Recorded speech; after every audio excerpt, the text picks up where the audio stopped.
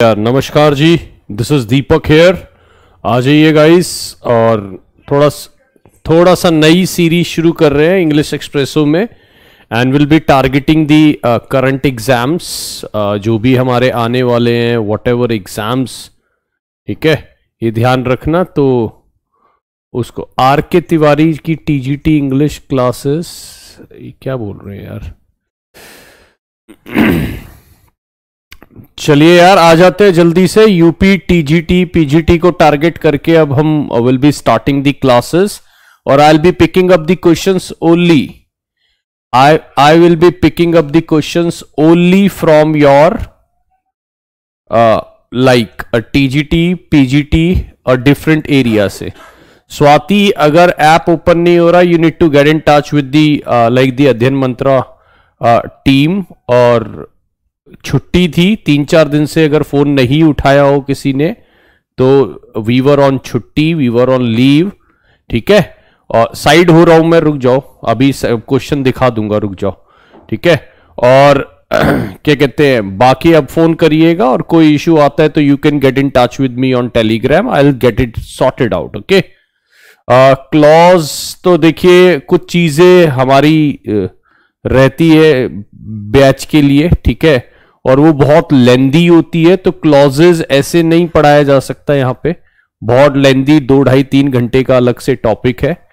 ठीक है, यहाँ पर क्वेश्चन आंसर सीरीज़ चलेगी और anybody who wants to pick up the batch ठीक है they can pick up the batch literature का बैच है डॉक्टर जेके तिवारी जी का और मेरा ग्रामर का है। Anybody who wants to go only with ठीक है grammar only they can go with that okay चलिए। अब किया तो चलेगा क्या? स्वाति अभी नहीं आप दस, साढ़े दस बजे के बाद फ़ोन करिएगा, ठीक है? चलिए। पीआरटी देखो, वैसे तो यूपी टीजीटी पीजीटी मेरे को तो पता नहीं क्यों लगता है, सारे सिलेबस सेम होते हैं, ठीक है ना? अगर कल को आप, अगर केवीएस का प्रिपरेशन करते हैं तो राइटर तो आपको यूपी टीजीटी पीजीटी वाले ही पढ़ने हैं, ठीक है? ये ध्यान रखना। तो ऐसा नहीं है कि ये किसी और के लिए नहीं है, अब सिर्फ़ यूपी जिसने भर रखा है वही करेगा।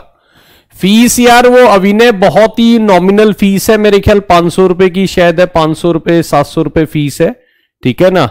और लिटरेचर का थोड़ा महँगा है, क्योंकि लिटरेचर लेंदी कोर्स होता है तो उसका थोड़ा सा महँगा है। वो आप एक बार देख लीजिएगा और अभी वीडियो चलेगा तो आप उसमें ही पता लगा लेंगे।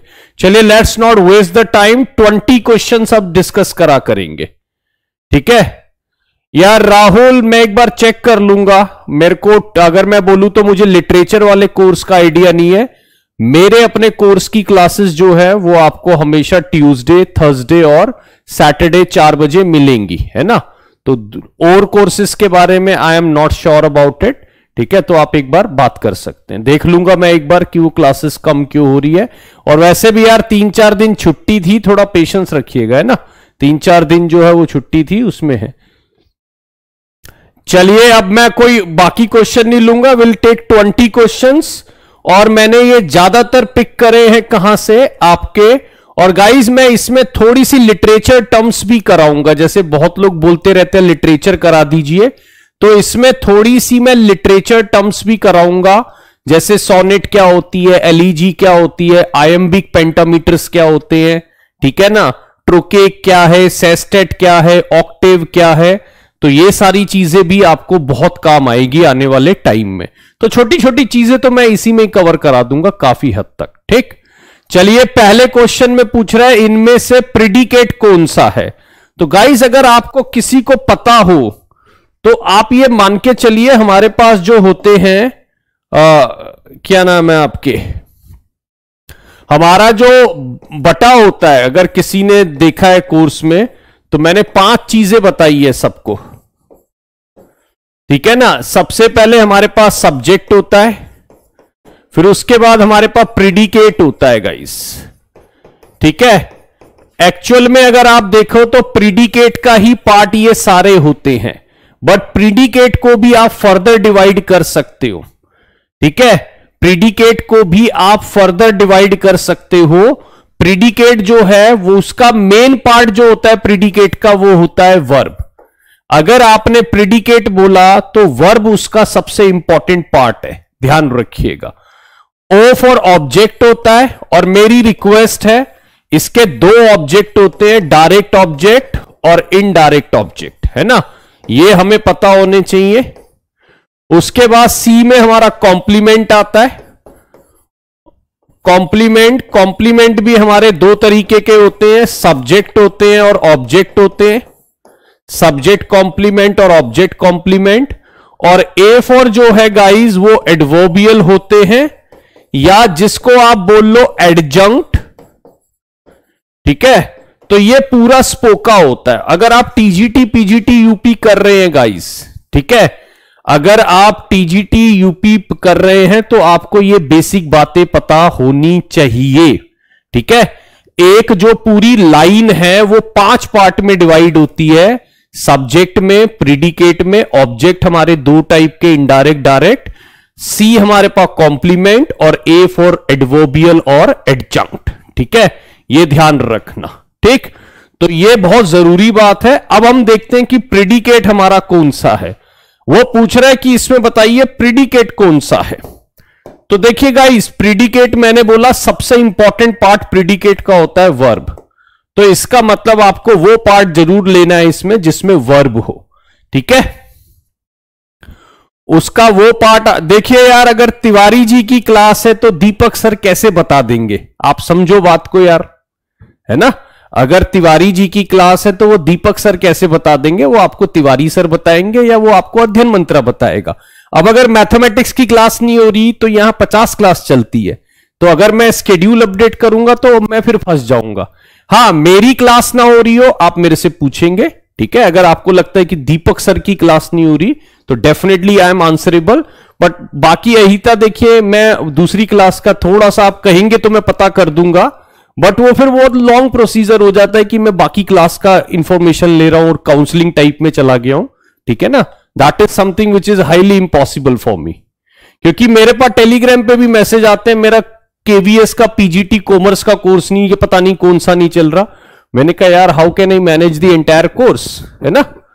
चलिए तो यहाँ पर जो आंसर है, वो है बी फॉर बॉम्बे क्योंकि प्ले जो है आपकी यहाँ पर वर्ब है। ठीक है? यहाँ पर लोग डी लगा रहे हैं डी बिल्कुल गलत आंसर होगा। डी में तो ये सब्जेक्ट भी आ रहा है है ना? ये रहा एडजंक्ट एडिशनल पार्ट एडजंक्ट होता है। जितना भी एडिशनल पार्ट है वो एडजंक्ट होता है। तो यहाँ पर तो अगर मैं इसको डिवाइड करूँ तो guys my friends and I तो आपका क्या है? बेसिकली सब्जेक्ट है ना? प्ले आपका जो है वो क्या है? प्ले आपका है बेसिकली इसको अगर मैं डिवाइड करूँ, ये है आपका प्रिडिकेट फुटबॉल आपका जो है वो है ऑब्जेक्ट। फुटबॉल आपका क्या है यहाँ पे? ऑब्जेक्ट, है ना? और in the park, in sorry in the park, in the park और ऑन संडे मॉर्निंग जो है, ये आपके एडजंक्ट है। तो इस तरीके से इसको पूरा डिवाइड कर सकते हैं हम। इस तरीके से इसको पूरा डिवाइड कर सकते हैं, ये ध्यान रखना। तो हमारा आंसर जो है वो सी है, ये ध्यान रखिएगा। चलिए दूसरे क्वेश्चन की तरफ़ बढ़ते हैं गाइस शुरू के दस क्वेश्चन हमेशा आसान होंगे और दस क्वेश्चन जो है, ये ध्यान रखना, वो टफ होंगे, ठीक? टफ इन द सेंस कि फिर वो थोड़ा सा लेवल हाई होगा और if you are already prepare तो आई डोंट थिंक सो कि कुछ भी आपके लिए टफ है। अगर आप प्रिपेयर कर रहे हो, ढंग से प्रिपेयर कर रहे हो तो I don't believe so anything is difficult for you right चलिए, आ जाइए विक्सन का, और ये ध्यान रखना यार, यूपी वाले में सिंगुलर, प्लूरल, नाउन, वाउन, ये बहुत पूछे जाते हैं गाइस है ना? सो ये हमें बहुत ध्यान रखना है। मेयर जो है गाइस ध्यान रखना मेयर जो है वो हॉर्स का फीमेल है। मेयर किसका फीमेल है? हॉर्स का फीमेल है। यू जो है वो रैम का फीमेल है। रैम मतलब होता है शीप यू जो है वो किसका फीमेल है? रैम का अच्छा गाइज़ ये फीमेल है, ध्यान रखना, ये फीमेल है। फिली जो है, वो कोल्ट का फीमेल है। कोल्ट होता है बेबी होर्स कोल्ट क्या होता है गाइज़ बेबी होर्स ठीक है? फिली तो फिली उसका फीमेल है। और फोक्स जो है, वो गाइज़ विक्सन का मेल है। ये मेल है, ध्यान रखना। ये मेल है और विक्सन जो होती है, वो चलाक लोमड़ी के लिए बोला जाता है। और विक्सन जो है वो स्टार प्लस लेडी के लिए भी बोला जाता है है ना? जैसे विक्सिन मतलब जैसे ही नाम होगा विक्सिन तो फेस के एक्सपीर, क्या कहते हैं, एक्सप्रेशन ही बहुत कनिंग हो जाएँगे, है ना? फेस के एक्सप्रेशन ही बहुत कनिंग हो जाएँगे वो स्टार प्लस की लेडी, है ना? दैट इज़ कॉल्ड विक्सन, ठीक? ओहो, चलाक लोमड़ी, है ना? चलाक लोमड़ी। चलिए तो हमारा आंसर यहाँ पर होगा फॉक्स, ठीक है? फॉक्स का जो मेस्क्यूलाइन है फॉक्स का जो मेस्क्यूलाइन है, वो है आपका सॉरी विक्सन का मेस्क्यूलाइन कौन है? फॉक्स मेयर का मेस्कुलाइन है होर्स यू का मेक्सुलाइन है यरैम और फिली का मेस्कुलाइन है कोल्ट ठीक है? चलिए, आ जाइए थर्ड नंबर देखते हैं गाइस अच्छा आसान है, और देखो, एक चीज़ मैं आपको बता दूँ। अब मैं करा रहा हूँ यूपी टीजीटी पीजीटी के क्वेश्चंस है ना? जो आपको किसी भी जगह काम आएँगे। बट वहाँ पर आसान भी बहुत आता है। हाँ टफ भी आएगा। थोड़ा थोड़ा धीरे धीरे लिटरेचर की तरफ़ हम चलेंगे। मैं पूरा लिटरेचर तो नहीं कराऊँगा भाई, मैं पहले क्लियर कर रहा हूँ। ठीक है? That is something which is uh you know again uh complete course ठीक है? तो हाँ बट मैं लिटरेचर की बेसिक टर्म्स आपको ज़रूर कराऊँगा। थोड़ी फिगर ऑफ़ स्पीच और ये सब। और अपना जो मेरा इंग्लिश का पेड कोर्स है, उसमें भी मैंने अब लिटरेचर की एक दो क्लासेस एक्स्ट्रा डालनी शुरू करी है। ताकि यूपी टीजीटी पीजीटी को they can get the extra benefit okay देखिए होमोफोन्स क्या होते हैं? होमोफोन होते हैं होमो का मतलब होता है सेम है ना? होमो का मतलब होता है सेम और फ़ोन का मतलब होता है साउंड है ना? सेम साउंड वाले, यानी जिनका साउंड सेम होता है स्पेलिंग शायद सेम ना हो, बाकी चीज़ सेम ना हो, ठीक है ना? जैसे प्रिंसिपल प्रिंसिपल है, बोलने में एक ही लगेगा। स्टेयर स्टेयर है, बोलने में एक लगेगा। स्टील स्टील है, बोलने में एक लगेगा, है ना? जैसे अगर मैं बोलूँ वेस्ट है ना? और वेस्ट सेम लगेगा। सन है ना? सन सेम लगेगा। बाय है ना? और बाय सेम लगेगा। ठीक है? सो बहुत ही बहुत ही सिंपल है। ठीक है? यहाँ पर आंसर क्या आएगा? काइट और केट ठीक है? तो ये वाला आपका होमोफोनिक नहीं है, ये ध्यान रखिएगा। ये वाला पेयर आपका होमोफोनिक नहीं है, ये ध्यान रखिएगा। अच्छा चलिए नेक्स्ट पे चलते हैं। होमोफोन्स होते हैं। कोई बता सकता है पैलिंड्रोम क्या होता है इंग्लिश में? कोई बता सकता है आप में से पैलिंड्रोम क्या होता है? एनाग्राम क्या होता है? चलिए बताइए जल्दी से anybody who knows about it palindrome और एनाग्राम प्लीज़ बताइए क्या होते हैं? यार, ये इंग्लिश है, हर क्लास के लिए इंपॉर्टेंट है। क्या बातें करते हो? कई बार मैं हैरान होता हूँ।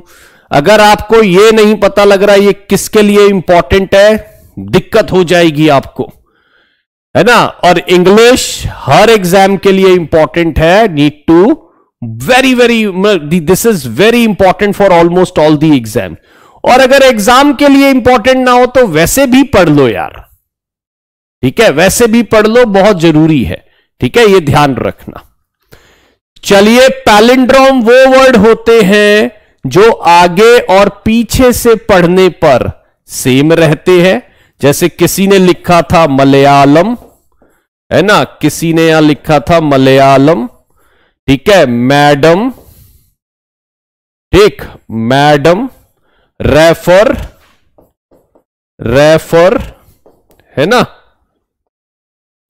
तो वो होते हैं।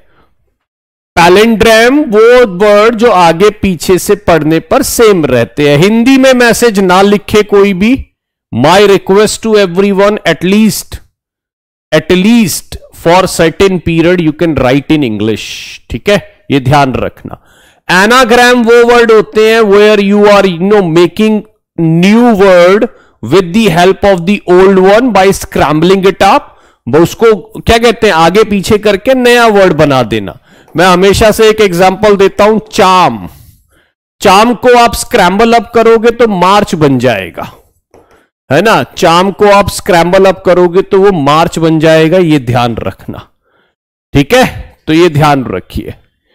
रेतो, आप रहने दीजिए, ये सीटेट के लिए क्लास नहीं है, अगर आप जाना चाहते हैं, जा सकते हैं। यार बार बार मैं बोल रहा हूँ, ये मैसेज मत लिखिए, ये बड़ा अटपटा मैसेज होता है कि ये क्लास सीटेट के लिए है कि नहीं।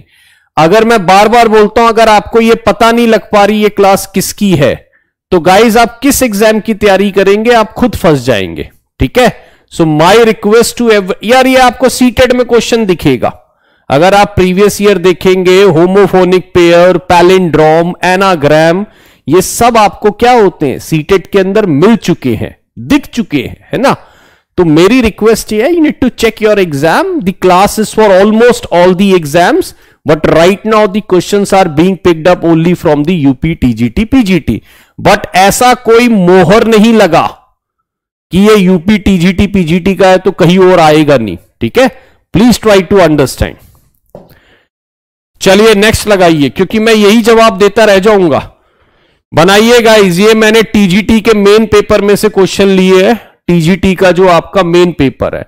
अच्छा कोई सॉरी वॉरी वर्ड ना लिखा करें यहाँ पे, ठीक है? Don't get worried about it मेरा बस एक कहने का मतलब है, अगर आप किसी एग्ज़ाम की तैयारी कर रहे हैं तो प्लीज़ अंडरस्टैंड है ना? अगर आपने उसके एग्ज़ाम को ही नहीं देखा आज तक तो आप तैयारी क्या करेंगे?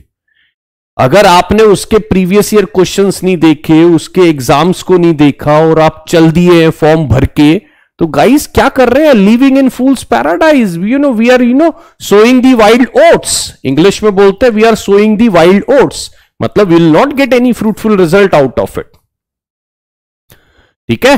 पैलेंड्रोम एनाग्राम सारे एग्जामों में पूछे गए हैं. होमोफोनिक सारे एग्जामों में पूछे गए हैं. और सारे एग्ज़ाम सेम है यार। मैं तो आज तक ही नहीं समझ पाया लोग इतना डिफ्रेंशिएट क्यों करते हैं। आप इंग्लिश जानते हैं? किसी भी एग्ज़ाम में बैठिए। मेरे को लगता है बिल्कुल आराम से काम हो जाएगा। गाइस बड़ा इंपॉर्टेंट है। There is no exception dash this rule और एवरी रूल अब आप क्या करते हैं ना? आप हिंदी टू इंग्लिश ट्रांसलेशन करते हैं। अब इसको थोड़ा सा ध्यान रखिए। ठीक है? इसको थोड़ा सा ध्यान रखिए कि कैसे बनाना। अब देखो हिंदी इंग्लिश ट्रांसलेशन वाले बहुत दिख रहे हैं मुझे।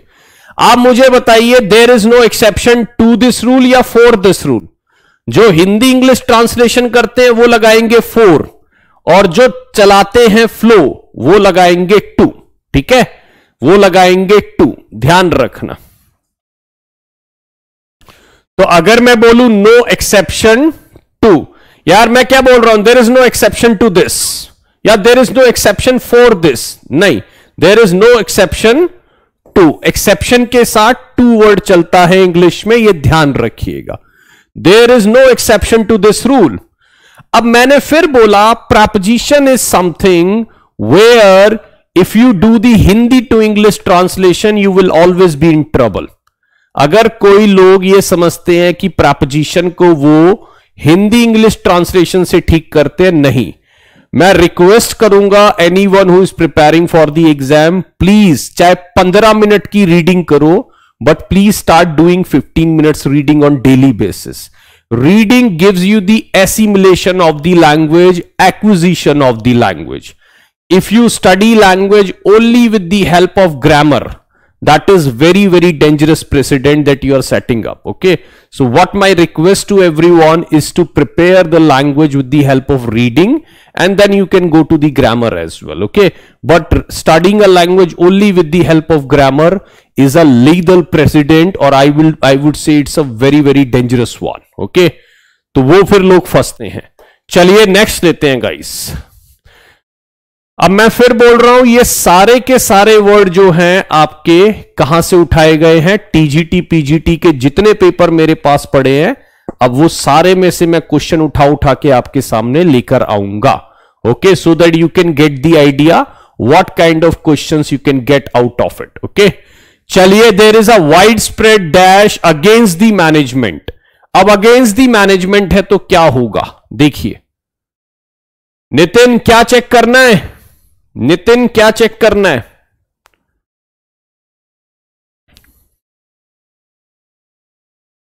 चलिए there is a widespread dash against the management ठीक है? अब देखिए, अगर मैनेजमेंट के अगेंस्ट है तो वो फीलिंग्स तो नहीं हो सकती। सेंटीमेंट्स भी अगेंस्ट नहीं होते। सैडनेस भी अगेंस्ट नहीं होती। है ना?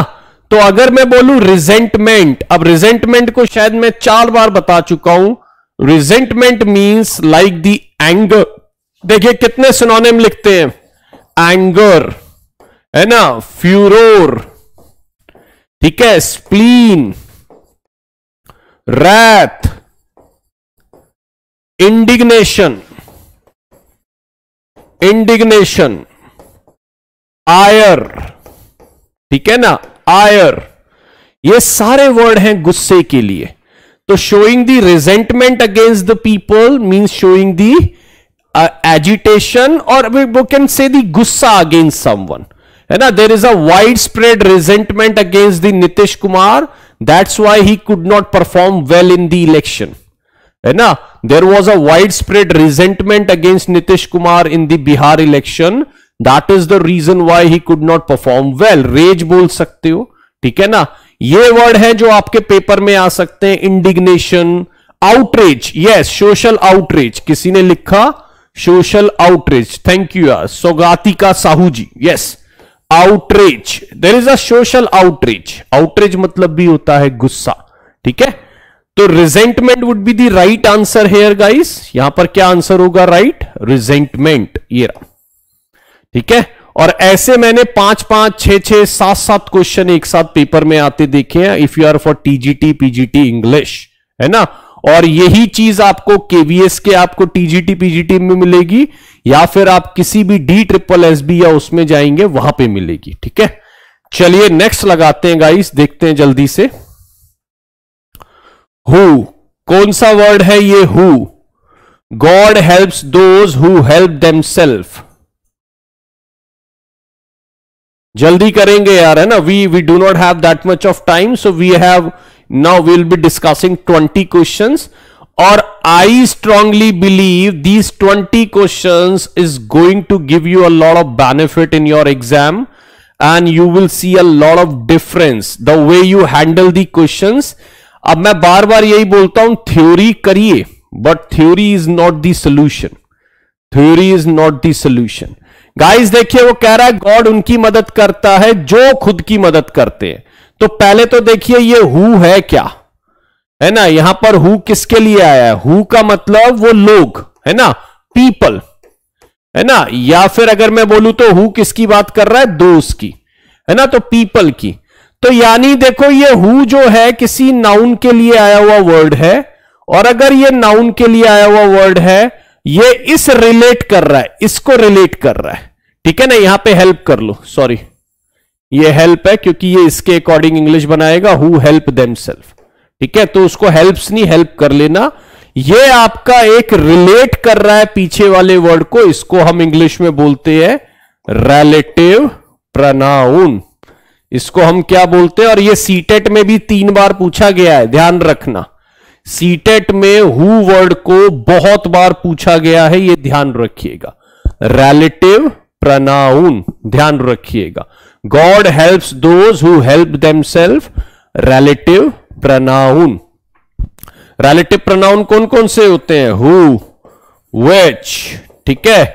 हुम हुज ठीक है? और अगर मैं बोलूँ तो वाट ठीक है, ये हमारे रिलेटिव प्रोनाउन होते हैं इंग्लिश में जो रिलेट करते हैं। ठीक? चलिए नेक्स्ट आइए जल्दी से। बताइए कौन सा आंसर होगा इसमें? Be quick in marking answer be quick in marking answer चलिए। मैं इसमें स्पेलिंग मिस्टेक्स भी कराऊँगा there are certain other things as well और लेट्स सी अगर कोई लिटरेचर के नहीं भी है तो भी उनके लिए वो टर्म्स बहुत इंपॉर्टेंट है because sometime those are the part of journal paper as well okay चलिए because of the poor dash in the hall the singers were barely audible bravely नहीं बेयरली ऑडिबल बेयरली मतलब मुश्किल से audible थे. Because of the poor dash in the hall Ishrat यार, ये आपको अध्ययन मंत्रा पे ही बात करनी है उस पर ठीक है ना? आपने जो कोर्स लिया है, उसके लिए यू नीड टू कॉल अध्ययन मंत्रा फॉर दैट ठीक है? चलिए because of the poor dash in the hall singers were dash audible singers were dash audible ठीक है? तो पुअर जो थी, क्या थी? विजिबिलिटी लाइटिंग और विजन देखिए गाइस ऑडिबल की बात हो रही है तो विजिबिलिटी से ऑडिबल का लेना देना नहीं। लाइटिंग से कोई मतलब नहीं। लाइटिंग तो होता है, रोशनी कितनी थी। लाइटिंग का मतलब कितनी रोशनी थी? रोशनी से क्या मतलब है ऑडिबल होने का? और विजन से भी कोई मतलब नहीं है ऑडिबल होने का। जो आपका अकाउस्टिक्स होती है अकाउस्टिक्स होती है हियरिंग प्रॉब्लम हियर से रिलेटिंग हियरिंग से रिलेटेड मैंने बोला अकाउस्टिक्स प्रॉब्लम है, क्या? ठीक है, ये ध्यान रखना। तो एकाउस्टिक जो है, कहीं ना कहीं वो हियरिंग से रिलेटेड होती है। तो हमारा आंसर क्या बनेगा? एकाउस्टिक्स ठीक है? हमारा आंसर क्या बनेगा गाइस एकाउस्टिक्स ध्यान रखिएगा। एकाउस्टिक्स मतलब जो हियरिंग रिलेटेड चीज़ें होती हैं, उसको हम इंग्लिश में एकाउस्टिक्स से रिलेटेड करते हैं। अच्छा बताइए ऑल फैक्ट्री किससे रिलेटेड होता है? ऑल फैक्ट्री किससे रिलेटेड होता है? बताइए जल्दी से। ऑल फैक्ट्री टिश्यूज कौन से होते हैं आपके? ये होते हैं सेंस ऑफ़ स्मेल है ना?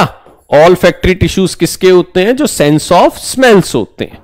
ठीक है? My grandma has acoustics problem yes acoustics को उससे रिलेटेड हम कर सकते हैं। Acoustics is something which is related to your अगर मैं बोलूँ तो कहीं ना कहीं रिलेटेड टू अच्छा देखो मयाना टच नहीं होता है। ठीक है? टच के लिए कौन सा होता है? टच के लिए होता है पैल्पेबल पैल्पेबल जिसको छू सकते हैं टेंजिबल ये होता है टच से रिलेटेड टेंजिबल और टेक्टाइल ठीक है? टेक्टाइल ये होते हैं जिसको हम टच कर सकते हैं। टेंजिबल एसेट्स सुना होगा आपने इंटेंजिबल एसेट्स है ना? टेंजिबल इनटेंजिबल एसेट्स पैल्पेबल और इनपैल्पेबल टेक्टाइल इसको हम बोल सकते हैं, जिसको हम छू सकते हैं। चलिए नेक्स्ट वन लगाइए गाइस अच्छी लाइन है गाइज़ अच्छी है और आपके पेपर की है यार. अगर आसान भी लगे तो कोई नहीं. इंजॉय दी लाइंस है ना? चलिए.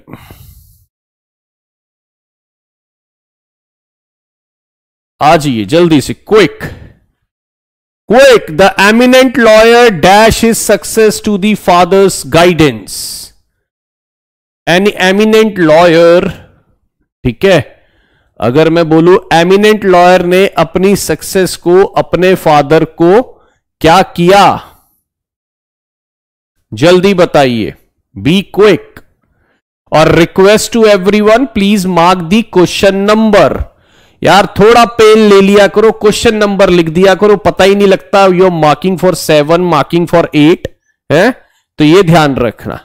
गाइज़ अगर मैं बोलूँ, मैं अपनी सक्सेस को सिर्फ़ अपने आप को एट्रीब्यूट करता हूँ तो एट अगर आप लाइफ में सक्सेसफुल होते हैं तो सबसे पहला क्रेडिट आपको जाता है क्योंकि मेहनत तो आपने ही की।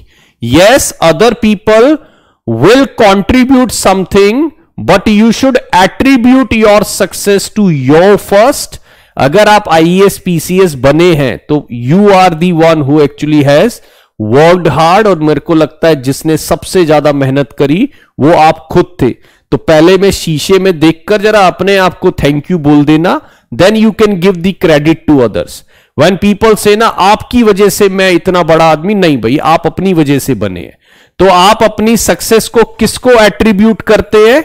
मैं ज़्यादा दूसरों को क्रेडिट देना पसंद नहीं करता. If I have done something great in my life it is only because of me yes other people are playing some kind of you know contribution in that ठीक है? तो मैं अपनी सक्सेस को या अगर कोई भी आई एस पीसीएस बनता है, वो एट्रीब्यूट करते हैं. इसको हिंदी में बोलते हैं समर्पित करना. समर्पित. यार कुछ देख लेना, हिंदी लिखे समर्पित करना राइट और एट्रीब्यूट्स वैसे वो भी होते हैं वर्च्यूज है ना? गुण मैरिट्स है ना? इसको भी हम एट्रीब्यूट्स बोलते हैं, ये ध्यान रखना।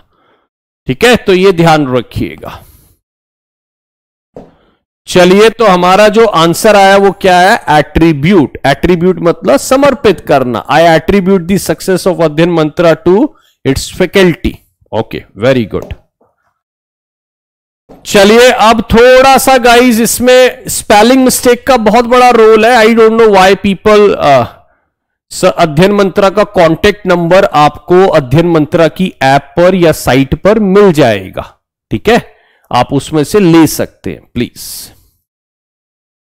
चलिए, अगर मैं बात करूँगा ही जरा मैं चार पाँच स्पेलिंग जल्दी जल्दी पूछ लिया करूँगा ताकि आप ये पता लग जाए कि we are not very bad at finding spellings sometimes spelling comes as a surprise for every one and we are not able to mark the answer just because of the exam pressure okay just because of the exam pressure, we are not able to mark the right answer for the spelling and that is a big embarrassment. ठीक है? That is a big embarrassment ये ध्यान रखिएगा। चलिए लगाइए answer cigarette की spelling क्या है गाइस कौन सी हो सकती है? Cigarette, nine. सिगरेटीन थोड़ी है, सिगरेट। सिगरेट की स्पेलिंग कौन सी हो सकती है? जल्दी बताइए, सारी स्पेलिंग करेक्ट करके दीजिए जल्दी। और तीनों स्पेलिंग एक साथ लिखिए जल्दी से। पहला स्पेलिंग क्या है? C I G A R E double T E cigarette. है ना? सो नाइन नाइन का जो आंसर है that is B for Bombay अगर स्पेलिंग में if you are getting out of six question छह क्वेश्चन है स्पेलिंग के आउट ऑफ़ सिक्स अगर चार नंबर नहीं आए, फंसे पड़े हो, आप बहुत बुरी तरह ठीक है? ये ध्यान रखना we need at least four number out of six चलिए इंडिपेंडेंट में बस इतना याद रखना, सारे ई e आते हैं। सारे ई e है इसमें तो इसमें ए का कोई रोल नहीं है, ठीक है? तो ये ध्यान रख लेना इंडिपेंडेंट अब देखो, यहाँ पर तो एक minute I N D E P N D N T I N D P N D N T तो गाइज़ यहाँ पे तो ए और सी दोनों एक जैसा ही दिख रहा है है ना? इंडिपेंडेंट ये तो देखो, ये तो गलत हो गई। यहाँ पर यार, ये दो बार एक जैसी स्पेलिंग आ गई आई थिंक ये भी सही है, दोनों एक ही है वैसे ही। ड्रॉट ड्रॉट क्या है? D R O U G S T drought वैसे ड्रॉट में ये भी स्पेलिंग होती है गाइस है ना? ड्रॉट में ये भी स्पेलिंग होती है, इसका मतलब होता है सिप जिसको हम हिंदी में बोलते हैं घुट, है ना? You just can finish it in one draught तो मैं इसको ए पे जाऊँगा, यहाँ पर ये दोनों सेम स्पेलिंग दिख रही है I N D E I N D P N D N T दोनों सेम है। ठीक है? तो आप ए लगाए या सी लगाए, आप मार्क्स स्कोर कर सकते हैं। एक ड्रॉट का मतलब अलग होता है बट यहाँ पे वो ड्रॉट नहीं है गाइस ठीक है? ये ध्यान रखना। पीआरटी के लिए भी क्लास चाहिए। यार ये फिर वही तो दिक्कत है, यही तो नहीं समझ पाए लोग मैं, वही तो कह रहा हूँ। अगर मैंने लिख दिया यूपी टीजीटी पीजीटी और मैं इस पे लिख देता ना यूपी पीआरटी या कहीं पीआरटी तो निकला नहीं, लेकिन अगर मैं लिख दू पीआरटी तो ये क्लास पीआरटी की भी हो जाएगी। आगे लिख दू केवीएस तो केवीएस की भी हो जाएगी। चलिए नेक्स्ट लगाइए।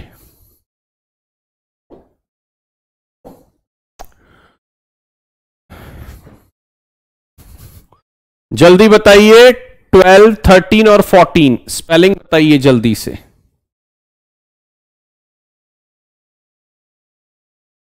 जितने भी लोगों को ऐप में दिक्कत है they can approach me on my Telegram English discussion with Deepak sir I will get their problem sorted out but please approach me only for English special course ऐसा नहीं है कि गाइज़ अगर आपका कोई और कोर्स में प्रॉब्लम है, आप फिर भी मुझे अप्रोच करें, है ना? Request to every one please approach me only for English and you can approach to other faculty for the respective course के चलिए, यहाँ पर अगर मैं बात करूँ, कौन सा सही है? थर्ड ट्वेल्व का क्या आंसर है? ड्रॉट का मतलब होता है जब अगर मैं बोलूँ तो बारिश नहीं होती, उसको ड्रॉट बोलते हैं। अकाल।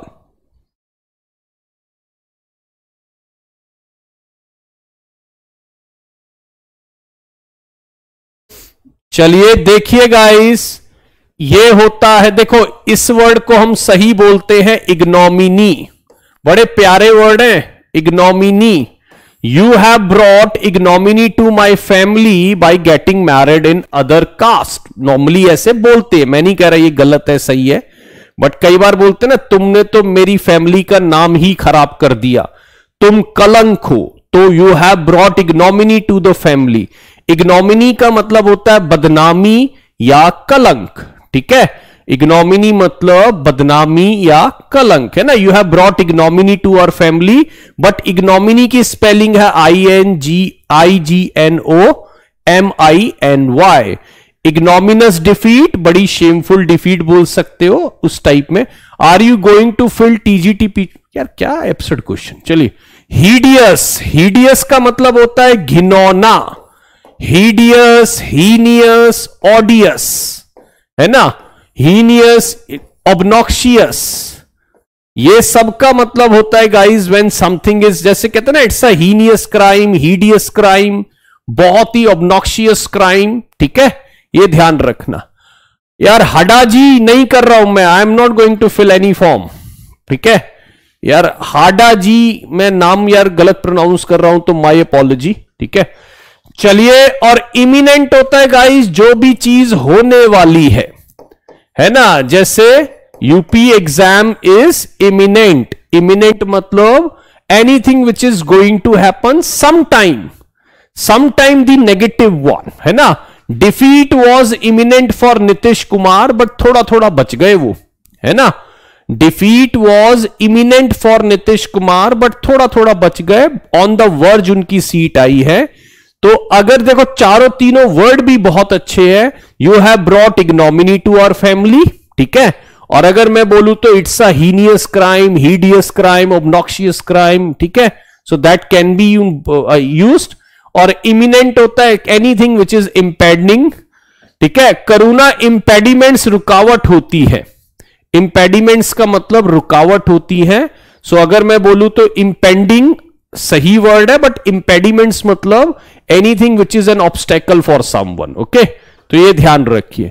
यहाँ पर होम्योस्टेटिस का जो है ये स्पेलिंग सही है, ठीक है? ये ध्यान रखिएगा।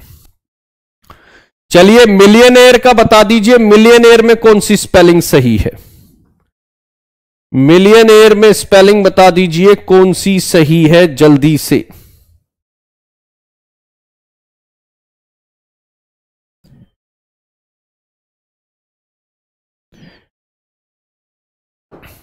जल्दी बताइए, कौन सी स्पेलिंग सही है? बी फॉर बॉम्बे और गाइस इसमें जो है ना, देखिए, इसमें कौन सी स्पेलिंग सही है? Five choose the correct spelling अब इसमें कौन सी है? क्वाइसेंट होता है, चुप रहना. क्वाइसेंट की जो स्पेलिंग है, वो है S C E N T quiescent है ना? अब इम पर, देखो रेमिफिकेशन होता है ramification fication T I O N type में बोलते हैं इसको हम। स्लिप शॉर्ट मैनर में, यानी लापरवाही से काम करना he is handling the career in slipshod manner अगर आप कोई भी काम स्लिप शॉर्ट मैनर में करते हैं हैपजर्ड मैनर में करते हैं, बहुत लेजी तरीके से कर रहे हैं, बहुत अनप्लैंड तरीके से कर रहे हैं। हाँ इम्परमिएबल होता है, जिसमें से कोई जैसे रूफ इज़ इम्पॉमिएबल यानी जिसमें से कोई चीज़ टपक नहीं सकती ट्रिकल नहीं कर सकती, है ना? तो उसको हम इंपॉमिएबल बोलते हैं। आपको वैसे मीनिंग ना भी पता हो तो भी आप आंसर तो लगा सकते हैं एक आईडीए से, ठीक है? हाँ धीरे धीरे मैंने बोला, जिसका रीडिंग अच्छा है, उसका वोकेबलरी भी अच्छा हो जाता है। बिकॉज़ डेली बेसिस पे he is doing something learning something so कहीं ना कहीं निकल के आता है। ये ध्यान रखना। रैमिफिकेशंस मतलब पॉलिटिकल रैमिफिकेशंस यानी उसके परिणाम बोल लो, उसके रिजल्ट्स बोल लो, उस टाइप में बोल सकते हो। रैमिफिकेशंस चलिए लगाइए मीनिंग जल्दी करते हैं। देखिए, जैसे हम बोलते हैं ना कि इसके रैमिफिकेशन झेलना बहुत मुश्किल है। सर, अभी पेड कोर्स में, बिल्कुल आप पेड कोर्स कभी भी ज्वाइन कर सकते हैं इंग्लिश का। गाइस देखो, मैं फिर बोल रहा हूँ, आपको इंग्लिश के ग्रामर कोर्स से रिलेटेड कोई इशू है, मेरे को बिल्कुल अप्रोच करिए। बाकी आप रिस्पेक्टिव फैकल्टी को। वैसे मुझे पता नहीं क्यों कईयों को लगता है कि इशू है, बाकी बहुत ही सिंपल प्रोसीजर है। ऐप पर जाकर काम करिए, देखिए उसको, मिल जाता है आराम से। ठीक है? कई बार लोग अपने से उसका आईडी पासवर्ड ठीक से नहीं बनाते इशू तब आते हैं दो दो लॉगिन कर लेते हैं, तब इशू आते हैं।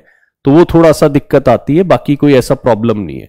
स्लिप शॉर्ट मैनर का मतलब होता है जब आप कोई भी लापरवाही या बहुत ही बहुत ही कैजुअल वे में काम करो, बहुत डीसल्ट्री फ़ैशन में काम करो, ठीक है? ये ध्यान रखिएगा। Human body maintains homeostasis itself with the help of bodily function बिल्कुल सही लाइन है, ठीक है? चलिए इम इम्परमिएबल होता है, जिसमें से कोई भी चीज़ निकल नहीं सकती। जैसे रूफ को हम इम्परमिएबल बनाते हैं, यानी बारिश का पानी आ नहीं सकता है। रैमिफिकेशंस को रिपरकर्शंस बोल सकते हो आप, ठीक है? चलिए गाइस तो यहाँ पर ये वाला आंसर सही है। सॉरी आपका आंसर ये वाला सही है। और सिक्स में से स्पेलिंग्स आपकी अच्छी होनी चाहिए। मैं बार बार बोलता हूँ there can be a question of you know three four spelling और फाइव स्पेलिंग मिस्टेक्स एंड ये जब ध्यान रखना this is very very important चलिए, आइए, अब थोड़ा सा लिटरेचर की तरफ़ बढ़ेंगे हम। लिटरेचर को मैं ये नहीं कहूँगा कि ये प्योर लिटरेचर है है ना? दिस इज़ समथिंग क्वाइसेंट होता है थोड़ा शांत रहना। क्वाइसेंट मतलब होता है शांत रहना। ठीक है? चलिए, अब अगर मैं बोलूँ, किसी को पता होगा बैलेड क्या होते हैं? फ़ेमस बैलेड्स के नाम भी याद रखना, ठीक है? किस किस के बैलेड है? ठीक है? और कौन कौन से है, वो भी याद रखिए। अब बैलेड बताइए, कौन सा चीज़ है? लगा दीजिए जल्दी। अब देखिए, ऐसी छोटी छोटी टर्म तो मैं ऐसे ही कवर करा दूँगा। What is ballad what is elegy है ना? पेंटामीटर ट्रोकेक है ना? सेस्टेट ऑक्टेव ये सब बहुत ज़रूरी टर्म्स हैं। और मैं कह रहा हूँ, वैसे भी आपको जाननी चाहिए जर्नल पेपरों में इधर उधर टैट्स में बहुत घूमती हैं ये। ठीक है ना? चलिए 15 का जो बैलेट जो होता है गाइज़ एक सॉन्ग होता है, जिसके अंदर कोई एक स्टोरी होती है। ठीक है ना? और कहीं ना कहीं किसी को आ, अगर मैं बोलूँ तो ग्लोरीफाई करती हुई किसी के बारे में कहानी बताती हुई दैट इज़ कॉल्ड बैलेड तो हमारा जो आंसर होगा वो होगा C for cat ballad is a folk song and the orally transmitted poem dealing with the popular story. है ना? मैं हमेशा एग्ज़ाम्पल देता हूँ खूब लड़ी मर्दानी झांसी वाली रानी. ठीक है? So any song which is containing some kind of story giving you the, you know, like the, all a glorification of particular character. So that song can be called as ballad. जो song को हम ballot बोल सकते हैं, ये ध्यान रखिए। चलिए नेक्स्ट लेते हैं गाइस नेक्स्ट में हमारे पास क्या है? डेन्यूमेंट है ना? अब डेन्यूमेंट क्या होता है, जरा उसको बता दीजिए। और लिटरेचर वालों को तो ये मैं ये कह रहा हूँ, उनका तो बेसिक का भी बेसिक है ये, है ना? If you are like the literature student of UP TGT PGT तो ये तो मैं बेसिक का भी बेसिक इसको मैं ये नहीं कह रहा। ये तो वो है कि अगर फॉर्म भी भरा होगा तो पता होना चाहिए। तैयारी तो बाद की बात है। है ना? तैयारी तो बाद की बात है। If you have filled up the form these are the basic stuff जैसे एक प्ले के अंदर क्या क्या चीज़ें होती है? एपिलॉग क्या होता है? प्रोलॉग क्या होता है? डेन्यूमेंट क्या होता है? तो ये ध्यान रखिएगा, किससे रिलेटेड होते हैं, ये ध्यान रखिए।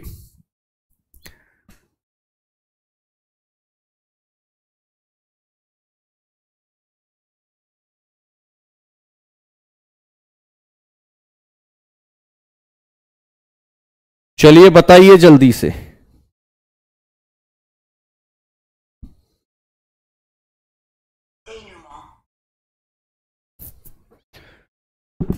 वैसे इसको आप एपीलॉग भी बोलते हैं, जो लास्ट पार्ट होता है ना? प्ले का जो लास्ट पार्ट होता है, उसको डेन्यूमेंट बोलते हैं, ठीक है? तो ये किससे रिलेटेड होता है गाइस एक प्ले से रिलेटेड होता है। आप प्ले के जितने भी स्टार्टिंग पार्ट एंडिंग पार्ट उसका जो ट्रैजिक मूवमेंट होता है, या जो भी होता है, वो सारी चीज़ें बिल्कुल एकदम पक्का करके जाइएगा, ठीक है? तो डेन्यू में जो होता है, वो that is related to your अगर बोलू तो प्ले से रिलेटेड होता है। और इसको हम ये भी बोल सकते हैं end of the play end of the play और अगर प्ले के एंड में कोई चीज़ है तो उसको हम एपीलॉग भी बोलते हैं। ठीक है ना? एपीलॉग और अगर वो स्टार्टिंग पार्ट है तो उसको हम क्या बोल सकते हैं? प्रोलॉग है ना? Prologue is the starting part और प्रोलॉग को गाइज़ हम फॉरवर्ड भी बोलते हैं, प्रस्तावना टाइप भी होता है ये है ना? प्रियम्बल बोल लो प्रोलॉग बोल लो, वो स्टार्टिंग पार्ट होते हैं। ये ध्यान रखिएगा। Is Ramayana is an epic और ballad Ramayana is an epic Ramayana cannot be a ballad epic is something where you are describing देखो एपिक को समझो। एपिक वो होता है, जहाँ पहले तो हिंदी में बोलते हैं महाकाव्य, और एपिक के अंदर क्या होता है? यू डिस्क्राइब दी गॉड और दी सेमी गॉड आप किसी एक सेंट्रल करेक्टर को पकड़ के उसके आसपास स्टोरी घुमाते हो और एपिक बहुत लेंदी होते हैं। एपिक बहुत लेंदी होते हैं। आप अपने करेक्टर के आसपास घुमाते हो उसको बट वो जो करेक्टर होता है, वो या तो कोई डैमी गॉड होते हैं। डैमी गॉड मतलब इक्विवेलेंट टू गॉड गाइस ये ध्यान रखना डेमी गॉड सेमी गॉड ये कौन होते हैं? जिनको आपने पूजा तो नहीं, जिनको वर्शिप नहीं करा बट उनकी पावर गॉड के बराबर ही थी, जैसे बाली, सुग्रीव, है ना? बाली हो गया, सुग्रीव हो गए अंगत हो गए, ठीक है ना? या और बहुत करेक्टर जो है राम के रामायण में, है ना? जैसे अगर मैं बोलूँ तो यार बहुत करेक्टर है जो राम राम के अंदर which were carrying the power equivalent to the god ठीक है? बट देवर यू नो देखो, सबसे जो फ़ेमस एपिक है, अगर मैं बोलूँ वो है होमर का इलियाड या फिर अगर मैं बोलूँ तो होमर का ही ओडिसी है ना? ओडिसी और इलियाड जो है वो हमें ध्यान रखना है। इलियाड के अंदर एक्लिस जो है मेन करेक्टर है। इलियाड जो है उसके अंदर एक्लिस मेन करेक्टर है। ओडिसी के अंदर ओडिसी मेन करेक्टर है है ना? जो कि जिसका ज़िक्र आपको इलियाड के अंदर भी मिलेगा। ठीक है? ये ध्यान रखिएगा। चलिए यस बलराम बोल सकते हो सेमी गॉड है ना? तो guys demi god semi god होते हैं इनके अंदर। मिल्टन पैराडाइज लॉस सबसे इंपॉर्टेंट है, सबसे इंपॉर्टेंट जिसने मिल्टन का पैराडाइज लॉस नहीं पढ़ा सेटन को नहीं देखा एडम ईव ये सब, है ना? बेल्जबब और ये सब कहानियाँ नहीं पढ़ी। तो गाइज़ वो लिटरेचर में तो ना बैठे तो अच्छा है, ठीक है? वो लिटरेचर में ना बैठे तो अच्छा है। थोड़ा हार्श वर्ड में बोल रहा हूँ बट अगर आपने जॉन मिल्टन पैराडाइज लॉस नहीं पढ़ा आपने अगर मैं बोलूँ तो चौसर नहीं पढ़ा, ठीक है ना? आपने विलियम वर्ड्सवर्थ नहीं पढ़ा, आपने अगर शेक्सपियर नहीं पढ़ा डिटेल में तो गाइज़ लिटरेचर तो फिर नहीं है। हम फिर लिटरेचर से बहुत दूर है है ना? ये ध्यान रखना। चलिए तो आगे बढ़ते हैं गाइज़ 17 नंबर क्वेश्चन पे। कई लोग थोड़ा सा लिटरेचर डिमांड कर रहे थे तो देखिए, पूरा लिटरेचर तो मैं नहीं कराऊँगा not my cup of tea and there is a separate you know like the course going on for literature so it is not good to put myself into the of other like और अगर बोलू तो मैं दूसरे का काम नहीं करूँगा, ठीक है? और वो सर हमारे doctor J K Tiwari is taking care of the literature and is master of literature है ना? तो टू एन एक्सटेंट मुझे लगता है वो ऑलरेडी एक्सपर्ट है। सोनेट में कितनी लाइंस होती है, इससे आसान क्वेश्चन इस संसार में नहीं बना, है ना? ऑल आज पहला दिन था तो यूपी टीजीटी पीजीटी तो थोड़ा सा तो रियायत दी जाएगी, है ना? सोनेट में हम जानते हैं कि हमारे पास कितनी लाइंस होती हैं? फोर्टीन ठीक है? कितनी लाइंस होती है? फोर्टीन ठीक है? ये ध्यान रखना। बट ये ध्यान रखना, एक कर्टेल सोनेट भी होती है, उसको भी ध्यान रखना। कई बार क्वेश्चन अलग आ जाते हैं कि कर्टेल सोनेट जो है, उसमें कितनी लाइंस होती हैं? चलिए बताइए कोई एक बार कर्टेल सोनेट में कितनी लाइंस होती है?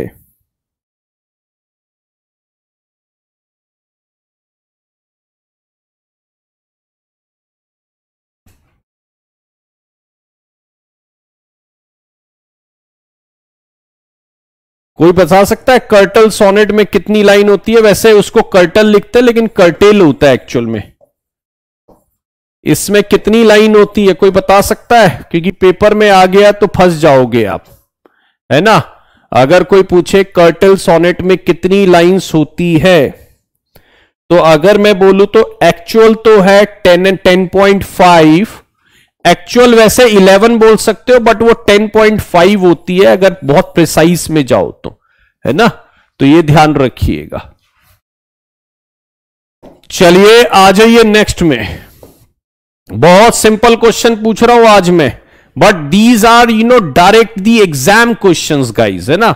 आपके ये प्योर एग्ज़ाम बेस्ड क्वेश्चन है और बिल्कुल हंड्रेड एंड वन परसेंट आते हैं। पेट्राकन को मेरे ख्याल जितने भी the people who are from literature they know the Petrarchan Italian जो हमारे वो रहे, बहुत फ़ेमस वहीं से रेनेसा की शुरुआत हुई और वहीं से रेनेसा जो है वो उठकर आया। ठीक है? After one and one hundred fifty years उसके बाद आपको यहाँ पे रेनेसा नज़र आया गाइस ठीक है? फिफ्टीन सेंचुरी के आसपास। सो फोर्टीन सेंचुरी के पोएट थे, ठीक है ना? और जिनका नाम पेट्राकन था। और उन्हीं से कुछ हद तक शेक्सपियर की कहते हैं, बोरो करी है वो सोनेट जो है। तो हमारे पास अगर मैं बोलूँ तो दो पार्ट होते हैं। फोर्टीन को जब आप डिवाइड करते हो ठीक है? दूसरा पार्ट मैं अभी नहीं बता रहा। एक पार्ट होता है ऑक्टेव ठीक है? जिसके अंदर अगर मैं बोलूँ तो नॉर्मल बातें चलती है और फिर उसके बाद दूसरा पार्ट होता है, ठीक है? तो ऑक्टेव बोलेंगे हम इसको। तो ऐसी छोटी छोटी टर्म्स को मैं सारी करा दूँगा जो बहुत ज़रूरी होती है एग्ज़ाम के हिसाब से। बहुत ही ज़रूरी होती है गाइस है ना? अब जैसे किसी ने लिखा है, देखिए एट लाइंस होती है ऑक्टेव और सेस्टेट होती है सिक्स लाइंस है ना? तो ऑक्टेव होता है और ये बहुत ज़रूरी है। और एक चीज़ मैं आपको फिर बता दूँ some people think that they no need to know the literature that's why they should री मतलब अगर if it is a part of your literature तब आपको, मैं तो कहता हूँ, वैसे भी पढ़ना चाहिए, ये बहुत कॉमन टर्म्स है है ना? आप इसको ये मत समझिए कि ये लिटरेचर वाले को ही पता होनी चाहिए। These are very common terms sonnet किसको नहीं पता, है ना? गाड़ी भी आ गई सोनेट तो अब, ठीक है? तो सोनेट किसको नहीं पता? सोनेट है उसके बाद उसका डिवीज़न देखिए, दो पार्ट में डिवीज़न होता है फ़र्स्ट पार्ट क्या कहता है सेकंड पार्ट क्या कहता है, वो सब पता होना चाहिए बेसिक लाइन से चलिए नेक्स्ट देखिए गाइस नेक्स्ट क्या कह रहा है? मैंने दूसरा पार्ट भी पूछ लिया सिक्स लाइंस को क्या बोलते हैं? फ़र्स्ट एट को तो हम बोलते हैं ऑक्टेव सेकंड वाली सिक्स को हम क्या बोलते हैं? सचिन जी ने बता दिया है मुझे पहले ही, ठीक है ना? ऑक्टेव फ़र्स्ट पार्ट है और सेस्टेट क्या है गाइस सेकंड सिक्स पार्ट है। ठीक है? ऑक्टेव फ़र्स्ट पार्ट है और सेस्टेट जो है वो सेकंड पार्ट है, जिसको हम बोलते हैं, ये ध्यान रखना। ठीक है? चलिए गाइस आज का लास्ट क्वेश्चन है गाइस अच्छा नहीं, दो क्वेश्चन हो रहे हैं। Twenty twenty one two question है गाइस जॉन मिल्टन ने कितनी सोनेट लिखी है?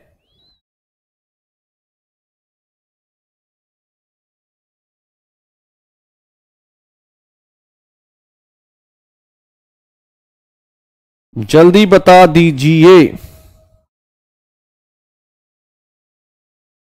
जॉन मिल्टन ने कितनी सोनेट लिखी है? बल, बता दीजिए, जॉन मिल्टन कंटेम्प्रेरी रहे। भाई, मैं अगर बोलूँ तो बहुत फ़ेमस है भाई। शेक्सपियर के बाद बहुत बड़ा नाम है जॉन मिल्टन ठीक है ना? शेक्सपियर के बाद बहुत बड़ा नाम है जॉन मिल्टन जिन्होंने सिर्फ़ 24 सोनेट लिखी थी और तहलका मचाया था। ठीक है? जिन्होंने सिर्फ़ 24 सोनेट लिखी थी और तहलका मचाया था। ठीक है? तो अगर मैं बोलूँ तो आंसर क्या होगा? 24 ठीक है? जॉन मिल्टन ने ठीक है? 24 सोनेट थी गाइस लेकिन अगर मैं बोलूँ, उस 24 सोनेट में भी उन्होंने बहुत ज़्यादा मतलब एक तरीके से इंपैक्ट रखा था, ठीक है ना? तो ये ध्यान रखिए। When I read the line answer will mark automatically ठीक। चलिए हाँ। कोई दिक्कत नहीं, शिवानी, कोई इश्यू नहीं है, ठीक है? If you are not from literature but still I would say कि बहुत ज़्यादा फ़ेमस है जॉन मिल्टन। पैराडाइज लॉस्ट इनका एक कहते हैं ना क्रिएशन मानी गई, जो शायद बच्चे बच्चे ने पढ़ा है, पैराडाइज लॉस्ट गाइस, ठीक है? तो पैराडाइज लॉस्ट में जो करेक्टर है आर्क एंजल्स है, बैल्जोबब है, सैटन है। सैटन को जो अच्छे तरीके से कई बार दिखाने की कोशिश की गई और सब चीज़ें हैं, एडम, ईव, ये सब बातें उसके अंदर होती है, ये ध्यान रखना। चलिए, एक लास्ट क्वेश्चन है जो वर्ल्ड फ़ेमस है, इसको तो शायद सबको ही पता होगा। इसमें तो कोई बेसिक से भी बेसिक है गाइस कि शेक्सपियर ने कितनी सोनेट लिखी है, ठीक है? I believe how many sonnets are written by ठीक है? Shakespeare every second person knows in this world okay so Shakespeare की कितनी सोनेट गई गई गाइस वो बहुत फ़ेमस है और मुझे लगता है शेक्सपियर ने सोनेट लिखी है 154 है ना? कितने प्लेस लिखे हैं गाइस शेक्सपियर ने प्लेस कितने लिखे हैं? सोनेट तो उसने लिखी 154 बताइए प्लेस कितने लिखे हैं? जल्दी बताइए।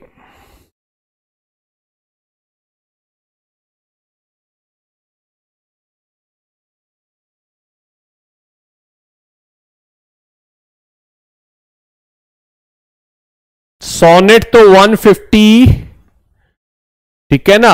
देसी।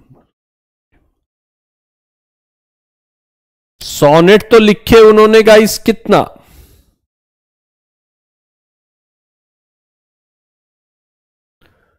चलिए वेरी गुड इंटेलिजेंट ऑडियंस है। थर्टी सेवन है ना? कितने हैं? थर्टी सेवन राइट चलिए, आज गाइज़ इतना ही था यार। आई होप कि थोड़ा अलग सेशन लगा होगा आपको। कॉन्सेंट्रेटेड लगा होगा यूपी टीजीटी पीजीटी पर भी। और इसके अंदर मैं और बहुत चीज़ें अब सर्च कर रहा हूँ।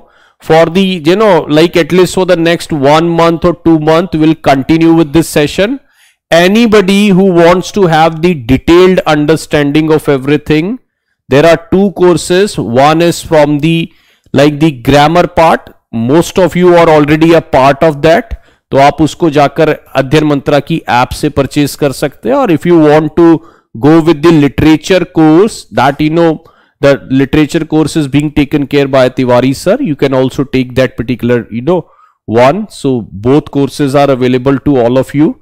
ठीक है? If you are you know like other discounts are already there तो आप देख सकते हैं उसको। ठीक है? बाकी we can continue here with the n number of questions और I hope you enjoyed the session और कहीं ना कहीं आपको कुछ सीखने को मिला होगा। ये छोटी छोटी बातें जो है ये बहुत मैटर करती है ये ध्यान रखिएगा कि कितनी सोनेट किसने लिखी और आगे जाके गाइस ये ध्यान रखना। आ, अगर मैं बोलूँ आगे जाके ठीक है? आपको मैं थोड़ा सा ये बताऊँगा ट्रुकी क्या होते हैं पेना और पेंटामीटर्स क्या होते हैं ठीक है? हेक्सामीटर ये सब चीज़ें देखेंगे आयम्बिक पेंटरमीटर क्या होते हैं तो ये सब चीज़ें जो है वो हमें आगे देखनी है। स्मॉल स्मॉल टर्म्स हम कराएँगे ये ध्यान रखिएगा ठीक है? चलिए thank you so much for giving your time हाँ बाय फ्रॉम माई साइड आज हम लगता है दस हाँ ठीक है टाइम तो हो ही गया ठीक है? You so much. Bye bye, guys.